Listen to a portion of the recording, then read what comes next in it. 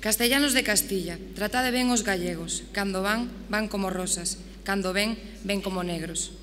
Cando foi, iba sorrindo. Cando veu, viña morrendo.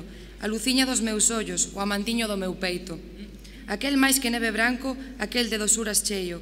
Aquel por quen eu vivía e sin quen vivir non quero. Foi a Castilla por pan e Saramagos lle deron. Deronlle fel por bebida, peniñas por alimento.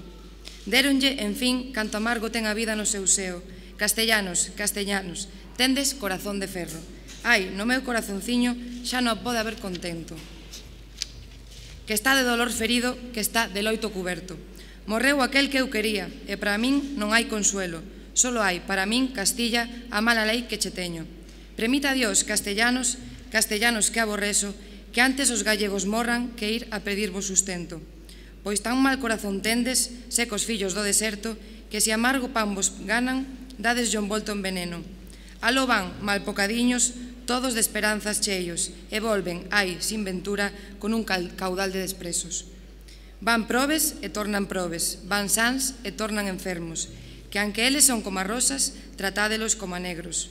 Castellanos de Castilla, tendes corazón de aceiro, alma como as penas dura e sin entrañas no peito.